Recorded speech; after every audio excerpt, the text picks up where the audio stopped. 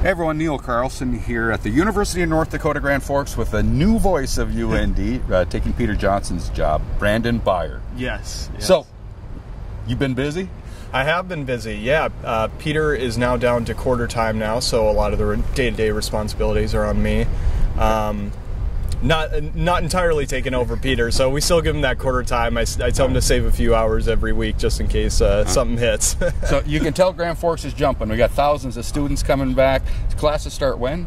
Uh, they start officially at 4 p.m. today, so most students probably aren't going to have classes until tomorrow, yeah. uh, and that's the first full day of classes. But there are some students, you know, they'll have an evening class tonight, so it's pretty exciting. So, any idea what enrollment uh, numbers are looking like yet this year? So, we'll be issuing our enrollment numbers on Thursday. We kind of wait until students okay. start going to classes until we have that finalized number, uh, and then we have, you know, that that definitive number come the later half of this week. So that's when we're officially rolling it out. I think that'll be probably in a UND Today story as We'll start to highlight okay. some of those statistics. Uh, off the top of my head, it was somewhere around fifteen thousand last year. Or, yeah, I'm not. I'm not sure okay. about the exact numbers. Okay.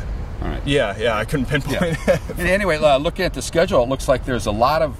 Uh, is there more orientation things as for buildings and classes and things for students to that are that are new to campus nowadays? Well, it's an exciting time because, as you know, over the past year, we've had a lot of changes as to the infrastructures mm-hmm. of our buildings. So we've had seven buildings that have been razed this summer, uh, and we're having a lot of different departments that are uh, moving and shifting around the campus. So, like the old medical school building, which is now mm-hmm. uh, Columbia Hall, that houses a lot of arts and sciences uh, okay. departments now. So, even the faculty are starting right. to get acclimated to these new areas as well. So, it's exciting okay. for not only new students but old students who are going into new buildings now and faculty as well. Okay.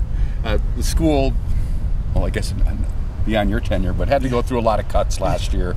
Things uh, shifted, moving around. Uh, yep but uh, it looks like things are off to a good start. Everybody knows where they have to be and yeah. what they have to work with.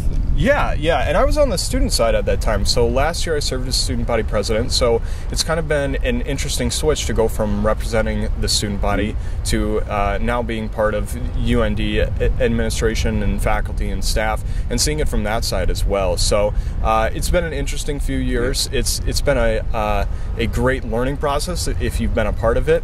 Uh, but over the past year, yeah, there has been uh, cuts, and now we're just kind of getting back into the normalcy. We're in that new budget season now, so um, I apologize for that. Everybody's phone wants to ring all the time. Okay. We're all hooked and if it was anybody else, I would probably not take it. But since it's Mark, I'm, I'm okay. I'm we'll sorry. leave you alone. I'm sorry. All right. Uh, uh, he's got to he's got to take a call from the president there, so that one he's got to pick up. All right.